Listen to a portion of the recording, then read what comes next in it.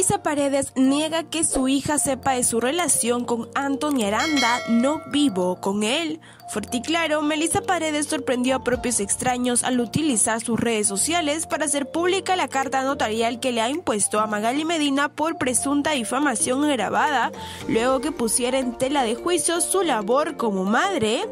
Todo se dio mientras la popular Urraca comentaba nuevas conversaciones que mantenía Melissa con su ex esposo, Rodrigo Cuba, donde ambos se referían al gatito activador cuando formaban parte de reinas del show.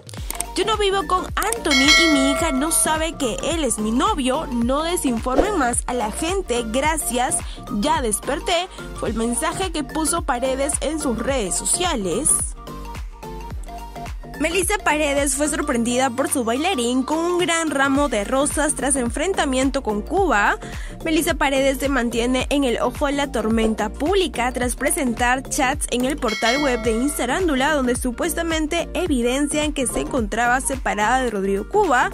Ante esto, el activador la sorprendió con tremendo ramo de rosas rosadas.